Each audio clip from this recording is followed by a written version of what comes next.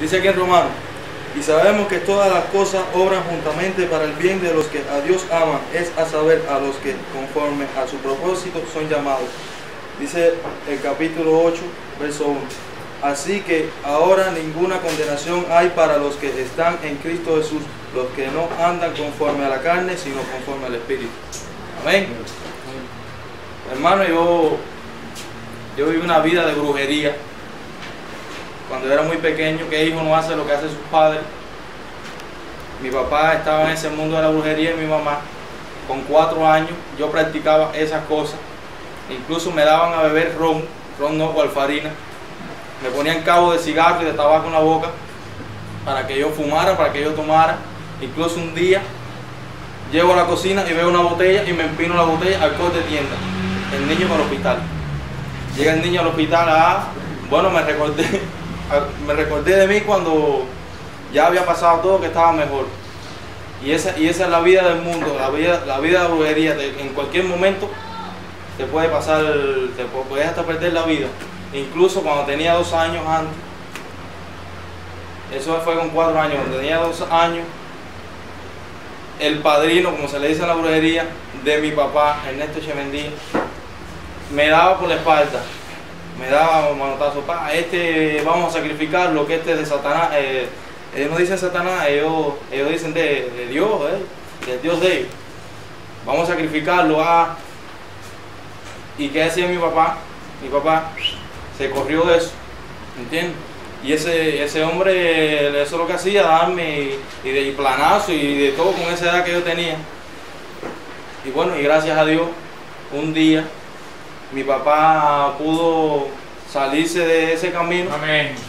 Y gracias a Dios estoy aquí. Bueno, ya con 5 o 6 años, ya yo predicaba el Evangelio de Jesucristo. Yo predicaba, salía por la casa a predicar.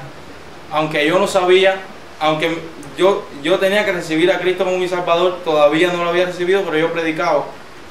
Entré en la iglesia, conocí al pastor Eduardito en esta iglesia. Y yo, yo venía a los cultos, pero cuando salía del culto y me decían, vamos para la turbina, yo me iba para la turbina, yo, yo me iba para ciego. Me decían, vamos para la fiesta, yo me iba para la fiesta. Hasta un día que el hermano Jeff, en enero del 2005, vino, dio una predicación sobre el Titanic y yo me convertí ese día y gracias a Dios estoy aquí en el Instituto Bíblico Valera alabando al Señor. Amén.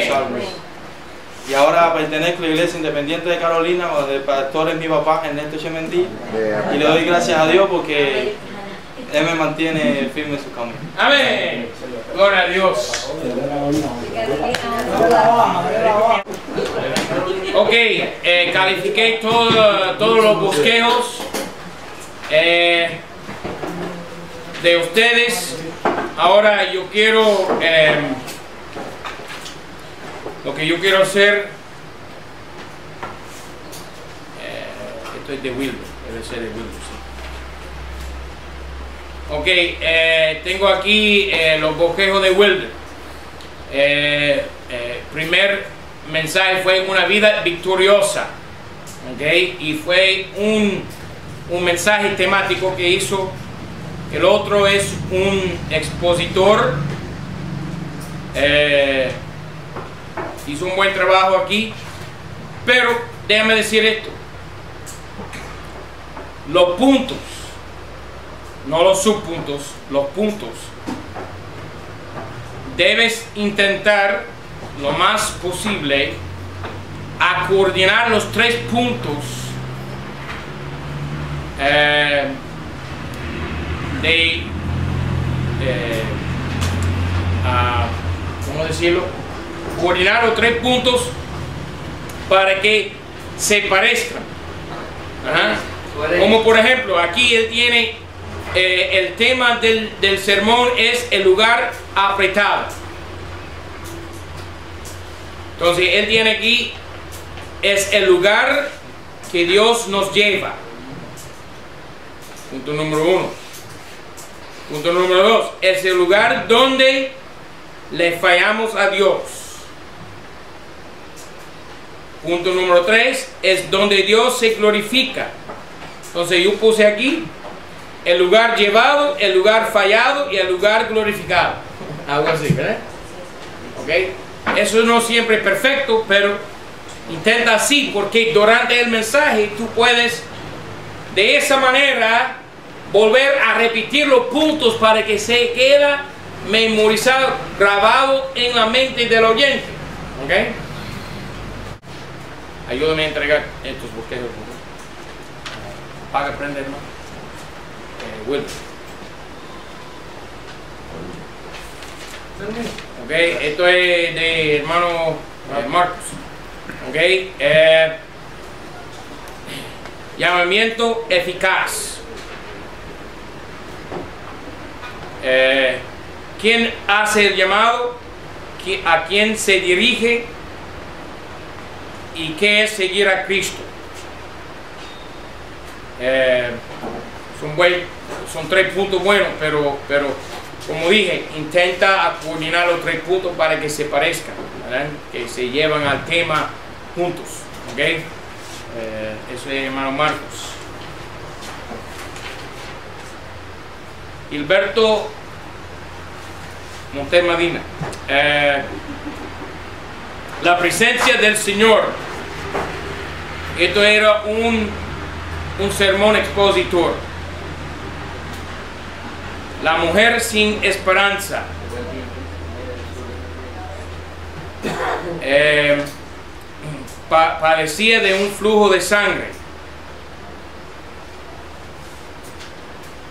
Eh, y no podía ser curada por nadie. Entonces, eh, sin esperanza, eh, sin ayuda, sin cura. ¿No? ¿Puede ser así? ¿Me doy a entender lo que estoy diciendo? La presencia del Señor cambia las cosas. Sí, eh, la presencia del Señor cambia la cosa, pero es una mujer, sacado de Lucas, sobre una mujer con un flujo de sangre. Entonces, esta mujer sin esperanza, sin Pero ya, no, ya no está hablando de Ayuda. Ya no está hablando de la presencia del Señor. Bueno, es- entonces, por supuesto, es muy importante siempre mantener el mismo hilo de pensar, ¿verdad? Pero estoy dando a entender eh, cómo tú puedes coordinar los tres puntos ahí. La presencia del Señor es la desesperanza. La presencia del Señor es la Sí, es otra cosa. Eh, Nicolás Rosavales Benítez. ¿Ah? Rosavales. El Cristo resucitado, un sermón temático.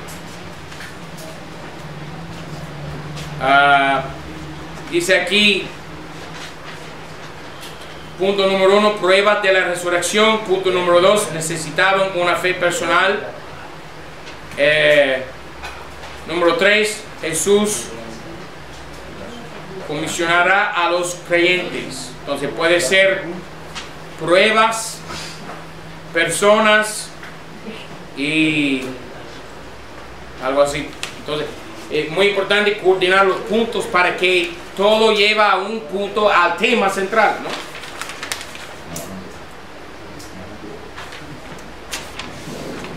Evelio Chacón Ortega un sermón expositor sobre el buen pastor Juan 10.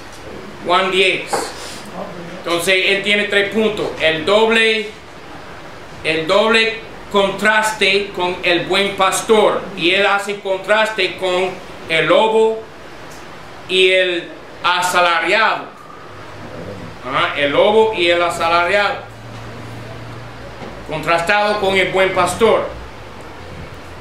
Y luego, punto número dos, dice la obra del buen pastor. Entonces yo puse aquí la oposición del buen pastor, la obra del buen, del buen pastor.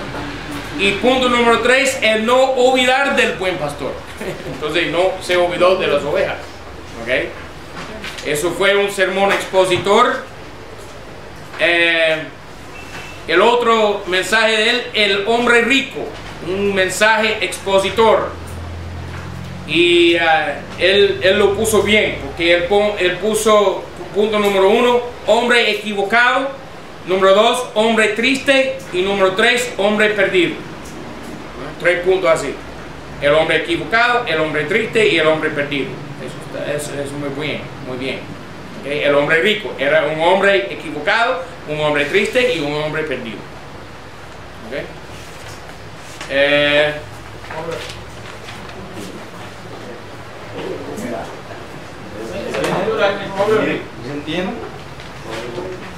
rico.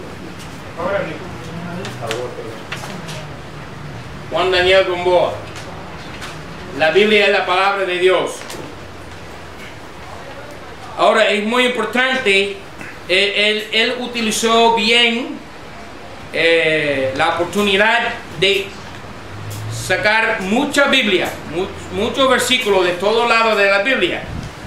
Entonces él, tiene aquí Isaías 55, otro segunda de Pedro, otro de Salmo, otro de Juan, otro de Romano, otro de primera de Pedro, otro de Juan, otro de Hebreos. Buena utilización de mucha Biblia de todo lado de la Biblia porque es un ser- sermón temático. ¿Me entiende? Y yo cambié tus ah, tres puntos. Tú puse, eh, tú pusiste, ella es la palabra infalible de Dios. Eso, número uno. Eh, número dos, siempre produce fruto en la vida. Sí. Número tres, ¿cuál debe ser nuestra actitud ante la palabra de Dios? Yo puse, ella es la palabra infalible de Dios, ella es la palabra fructífera de Dios y ella es la palabra eficaz de Dios. ¿Qué vamos a hacer? Eh, y, y mira, eh, el otro mensaje tuyo, el tiempo bien usado, que es un mensaje, otro mensaje temático, yo puse tres preguntas. Eh, ¿Por qué no disponemos de mucho tiempo eh, en esta tierra? Número uno. Y bueno, yo no puse otra pregunta, pero te, te, te, señalara- te, te- señalé a poner tres preguntas. Puede ser tres preguntas, puede ser tres aliteraciones. ¿Tú sabes qué es aliteración? ¿Eh? Eh, Cristo es Señor, Salvador y Sanador. Ese, ese, ese. y, uno no puede quizás hacerlo como yo hice tiempo en usado. En los puntos, ¿no? Cuando dice el tiempo bien usado. Bien, el, el primer punto, porque no disponemos de mucho tiempo en esta tierra. La otra, debemos usar bien el tiempo porque no disponemos de mucho tiempo en esta tierra. En segundo lugar, el tiempo debe ser bien usado. A ver, porque A ver si tú puedes formar de- es una oportunidad para En vez de una declaración, puedes poner tres preguntas. Ah, ya, ya te entiendo, sí. Ok, ok. Lo que quiere que resuma el- más el, el punto de desarrollo. Ahora, Onésimo Fente de León. Esto, esto fue buenísimo lo que hizo él, ¿verdad? Él, él tiene aquí. Él di- y, no es porque es mi, mi converso, ¿no? Eh, Esto es buenísimo. ¿Cómo tener una vida larga? Ese tema, ¿verdad? Dice, número uno, debemos guardar los mandamientos. Número dos, debemos fijarnos en Jehová. Número tres, debemos apoyarnos en nuestra no debemos apoyarnos en nuestra propia prudencia entonces tiene deber deber deber ¿Eh? buenísimo es un mensaje expositor de Proverbios 3 1 a 6 No, yo tengo una sugerencia. Yo quiero que el mensaje que se va a dar adelante se diga amén. que cada uno apela a su propia conciencia. Esa es mi sugerencia tú.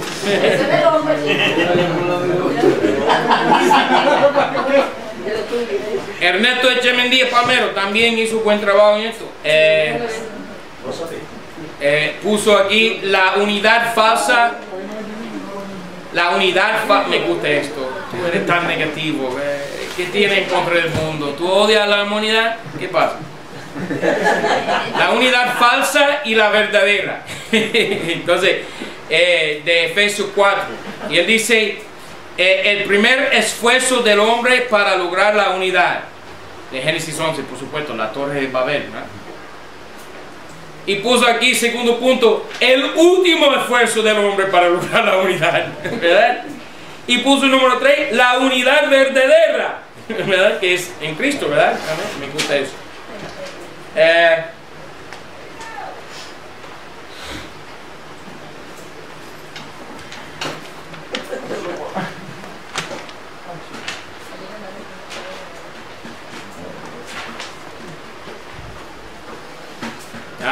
esto. También.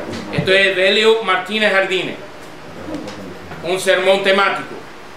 El Señor purgó tus pecados. Punto 2. El Señor aboga por su pueblo. Punto 3. El Señor defiende a su pueblo. Tres puntos.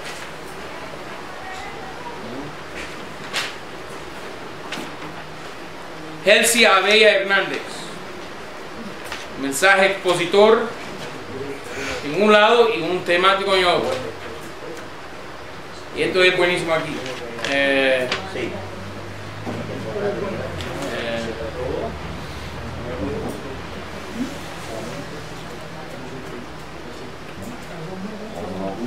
la, eh, la mujer astuta y fiel.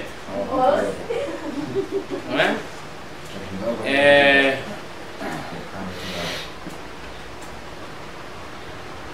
Dice aquí, la astucia de la mujer, la fidelidad de la mujer.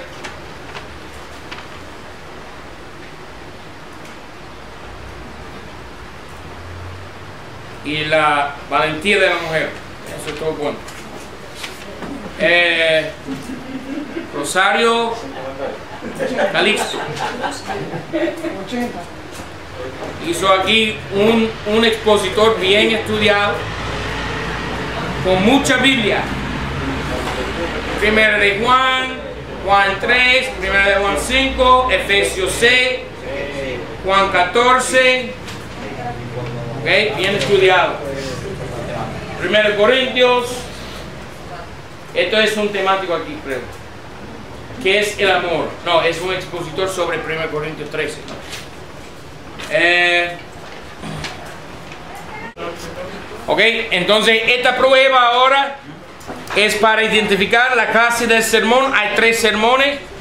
Tiene que poner círculo en sea temático o expositor. Tiene que poner un círculo para identificar el sermón como siendo, como dije, expositor o temático. Ok, ya, para eso.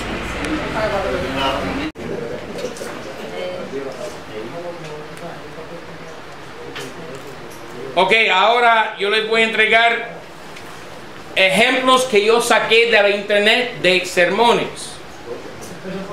Ahora, no doy a entender que estoy de acuerdo con estos sermones en cuanto a la doctrina, ni en cuanto a su formación.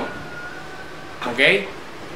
Pero para dar un ejemplo de lo que hay afuera, como van formando los pastores allá afuera, en México, en Colombia, lo que sea, formando sermones, ¿ok? Vamos a escudriñar estos ejemplos, ¿ok? Entonces, repárteme todo.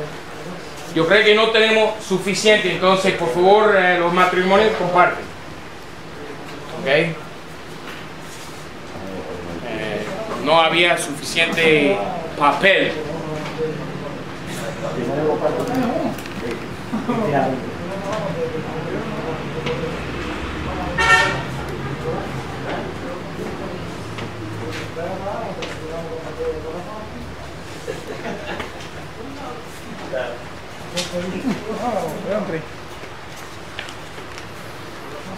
No habrá suficiente, estoy seguro.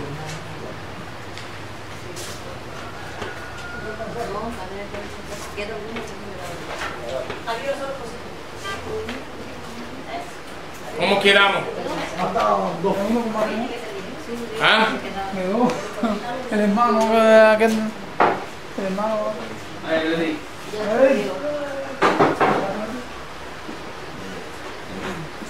Wilder, ¿tú tienes? Sí. ¿Quién no tiene? La mujer. Ok, ¿puedes compartir con tu madre? Ok, sermón número uno. Anatomía del pecado por Juan Abelo. ¿Quién es Juan Abelo? Ni, ni tengo la idea, no importa. ok, Génesis 3. Ok, y él da a entender lo que, es- lo que quiere decir anatomía. Eso es bien hecho. Pone aquí introducción. Y tiene tres puntos. Plan de ataque. Dice, Satanás es astuto, busca debilidad. Comienza el líder. Eh, transición. No sé qué es eso. Luego que... Lo que le explicaba usted, pastor. Ajá. Lo que le explicaba de afuera que tiene. Pero es una oración. No, usted no tiene que cerrar los ojos. Luego que el diablo ha establecido cuál es la debilidad de la persona, comienza. Ah, yo entiendo, él está haciendo una transición de un punto a otro. Eso es lo que le explico. Estoy de acuerdo, eso es bueno para preservar el hilo de pensar, ¿no es así? Eso es lo que le explicaba. Eso es lo que explicaba. No hay problema, yo no estoy en contra de eso. Eh, número dos, comienza el ataque. Entonces, plan de ataque, comenzar del ataque, Y el efecto del ataque el efecto de que, que se cae. Punto número 3, ¿verdad? Y tiene ahí conclusión. Lo que no me gusta es que no tiene ilustraciones aquí, pero él tiene Biblia bastante. Él cita de Efesios, de Génesis, de Mateo, ¿ok? Romanos, Primera de Juan. ¿Ah? Me gusta. ¿Ok? Pero no hay ilustraciones. Eso es un defecto ahí. Y, y el tercer punto debe de ser consecuencia del ataque o efecto del ataque. Sí, y él puede formar, eh, sí, exactamente, la- el resultado del ataque. Sí, Entonces tenemos el plan del ataque, eh, la comienzo del ataque y el resultado del ataque. Pues rompe la, el tercer punto se rompe de la, Exactamente, estoy de acuerdo. ¿Rompe qué? la coordinación La coordinación de los tres puntos. Perfecto. Ok, estoy de acuerdo. Eh, número dos. ¿Cómo mantener buena salud espiritual? Por David Rivera. Ah, ah, ah, bueno, volviendo al primer sermón, ¿eso fue qué? Eh, ¿Temático o, o expositor? Temático. Temático. El ataque. porque y no está en un, no está en un solo pasaje. No, eso es expositor. No, él, él, él trajo Biblia de todos lados. No, Sí, cada cada. Él tuvo un, un pasaje temático, pero, pero no fue, esto no es una exposición de Génesis 3. No, pero eh, eh, eh, porque, porque él, él comete un error, porque el, sermón se presta para ser expositivo. Está basado en un solo pasaje de la Biblia. No, no, no, no, 3, tiene razón. Expositor, sí, expositivo, sí, tiene Los razón, tiene razón, basados en el mismo pasaje. tiene razón. Es lo que Samuel Está muy bien, pero Ok, Vamos a saber pasar. número 2, Salmo 101. ¿Cómo mantener la buena salud espiritual? La promesa de vivir rectamente. Él debe amplificar su introducción. Eso no es bien hecho. No está bien hecho. Tiene tres puntos. Son tres preguntas. Eso sí está bien. ¿Qué dijo el salmista David en este salmo? Dos, ¿qué cosas debo procurar hacer? Tres, ¿qué nos recomienda el apóstol Pablo? Realmente esto es tiene- Ni temático ni expositor. No, eh, esto es un reguero aquí. hizo una combinación Es un híbrido. Primer y segundo punto es positivo, el tercero se vale todo. Entonces, para nada ha preservado el hilo de pensar, ¿no? No es coordinado, no es ordenado, no, no, no, hay, no hay orden aquí. No hay continuidad aquí. No sé, no hay nada. ¿Ok? Eh, sermón número 3. Sermón número 3. Eh,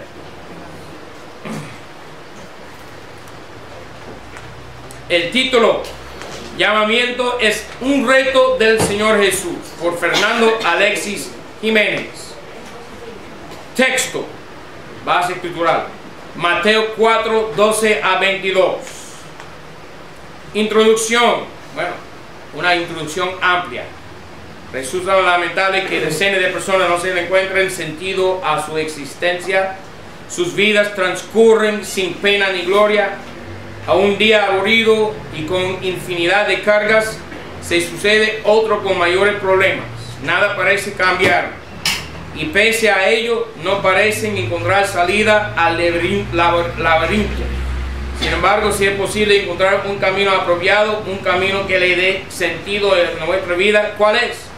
Aceptar el llamado que nos hace el Señor Jesús a comenzar cada nuevo amanecer con propósito. Es posible solo basta que escuche el llamado del Señor Jesucristo y su vida jamás será la misma. Amén. Primer punto, el Señor Jesús nos llama a romper cadenas en tierra de opresión. De Mateo, ¿verdad? Versículo 15 a 17. Segundo punto, el Señor Jesús nos llama a la batalla. Ok, versículo 18 a 22. Ajá. Y punto número 3, el Señor Jesús nos llama a comprometernos en una nueva empresa. Versículo 19 a 22. Entonces es, es un sermón expositor, por supuesto. Porque él está exponiendo ese texto, Mateo 4. Pero no tiene ilustraciones. Y realmente, aparte del texto, no incluye ningún otro versículo. Aparte del texto principal, no incluye nada de otra, de otra, de otro lado de la Biblia. Eh, pastor, yo, yo creo que, yo creo que el sermón no siempre uno usa, usa, usa ilustraciones. Debe. Pero Porque no- mire, no, no, sí debe. Esta es la razón. Esta es la razón. Mucha, Porque hermanos, eh, hermanos, mira por favor Nehemías capítulo 8. Nehemías capítulo 8, por favor. Sí, pero cada, cada, predicador tiene su propio estilo. No, no estoy de acuerdo. Mira Nehemías 8, por favor. Nehemías 8. Por encima de todo, Cristo que utilizaba ilustraciones, parábolas, metáforas, ejemplos, ¿ok? Pero mira Nehemías capítulo 8, por favor. Mira bien el contexto, versículo 4, y Esdras el escriba estaba sobre un púlpito de madera. Está bien. Ok, mira el versículo 8. Y leyeron en el libro de la ley de Dios claramente. Y pusieron entendimiento. Y entendieron la escritura. Ok, entonces, nuestro deber es poner entendimiento. Y eso proviene de no solamente predicar un mensaje, sino pintar un cuadro mental con lenguaje figurativo, metáforas, símiles, la palabra como, eh, eh, eh, ilustraciones, todo a nuestro alcance. Entonces, lo que estoy diciendo, no, no, no solamente formar bosquejos, hermanos, pero debemos aprender el lenguaje y aprender la Biblia para poder amplificar y extender el conocimiento, el entendimiento de la persona ahí sentado en el banco de la iglesia. Entonces, sin ilustraciones, ¿no? Por supuesto, yo no estoy diciendo que todo el mensaje debe ser ilustraciones, pero sin incluir ilustraciones, tú no estás amplificando el entendimiento de la persona. Dime. A mí me parece que quizá eh, eh, Daniel no se ha entendido el concepto de ilustraciones, porque yo he escuchado predicar y la uso. El problema está en que estamos pensando que ilustración es solo una anécdota determinada. y entonces- Exacto, se convierte en un cuento. No, ¿no no, sabes? Daniel, es que el concepto de ilustraciones, de ilustración es mucho más amplio que pensar en una historia. Pero en la sección de la clase sobre el arte de ilustraciones, Se va a abundar ahí. yo di a entender que ilustraciones pueden ser muchas cosas, La ¿verdad? Biblia Exacto. Ejemplos bíblicos sí se usan. ¿Ok? Ya, ok. ya estamos de acuerdo. Eh, es la manera de expresar la cosa, pero estamos de acuerdo. Yo le hago un problema en los, en los subpuntos. El señor, primer punto, el Señor Jesús nos llama a romper cadena en tierra de opresión.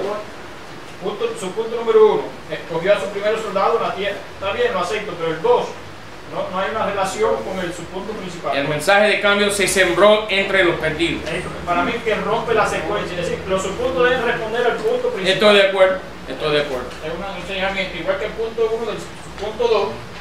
Punto 2 dice, el Señor Jesús nos llama a la batalla. Y entonces, el su punto número 1 dice, un llamado a romper cadena de rutina, que se, se corresponde más con el primer punto.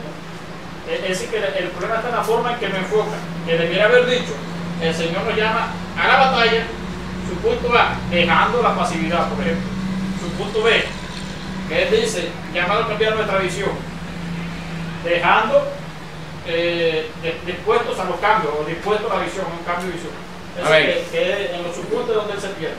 Sí, Es mi señor. opinión. Estoy de acuerdo, estoy de acuerdo. Se la Exactamente. estructura gramatical completamente también. sí. Exactamente. Ok, eh, vamos a tomar un receso de 10 minutos. 10 minutos.